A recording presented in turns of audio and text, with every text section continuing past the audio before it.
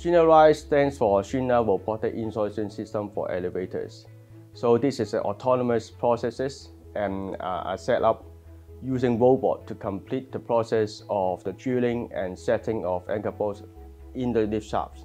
So with that, our people only have to stay outside of the lift shaft um, operating the robot to complete the processes.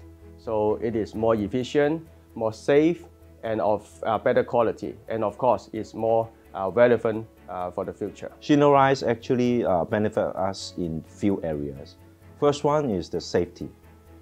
With Schindler we, we, we can reduce the time we expose for the people working at heights. Second one, of course, is the quality. Schindler is a very precise machine. With the accurate installation of the anchor bolt, we can keep our quality consistent. Then the last one is for people. With Schindler we can improve the working environment and we can attract more new people to join our industry.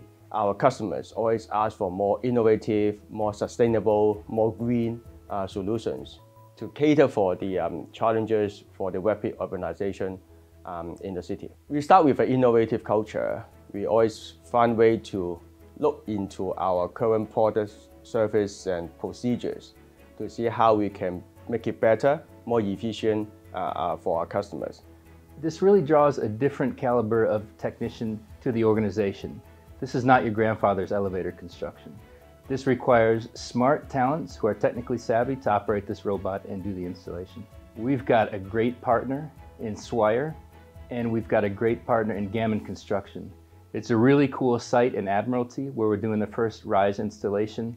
There's a lot of noise around the project, a lot of safety experts from the industry coming to the site, a lot of young talents learning to operate the machinery. A lot of interest is being generated by the first RISE installation. It'll be really, really interesting to see this to completion and I'm really proud of our partners. I think Schindler RISE is really cool technology. It using the robot to complete the drilling uh, process in the lift shaft. So uh, low worker necessary to get into the lift shaft so it's more safe and also increase our productivity.